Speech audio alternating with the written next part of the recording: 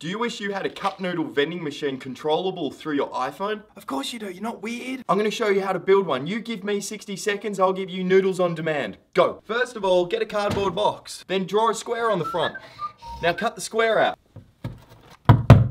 Then grab a cheap coffee percolator. Take that thing out of it because we only want this for the hot water. And we're gonna put it inside the box. You may need to sticky tape the on button down and get one that doesn't have a hot plate. Otherwise you'll melt your noodles.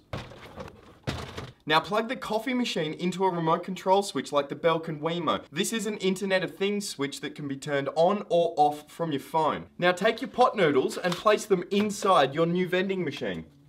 Grab your phone and order pot noodles. While you wait, put some advertising on it. Now they should be done, so just grab your pot noodles. it actually worked.